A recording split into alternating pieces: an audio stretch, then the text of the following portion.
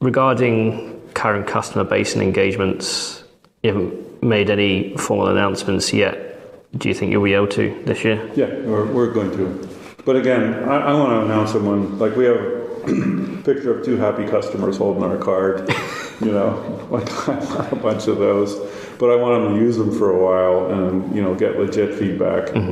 Like, we, we don't need to hype what we're doing. We're doing something that's really hard, you know. You go to the moon, you don't have to make up a story about it. You just gone to the moon and came back, and, you know. You still need to hire the right people to do it, though. Yeah. So, so yeah, we're we're on, we're on a good path. Like um, I'm happy with what we're doing. And you know, when we have really solid, like this worked and this worked, and these guys liked it, and these guys hated it. Yeah, we'll we'll we'll talk about that.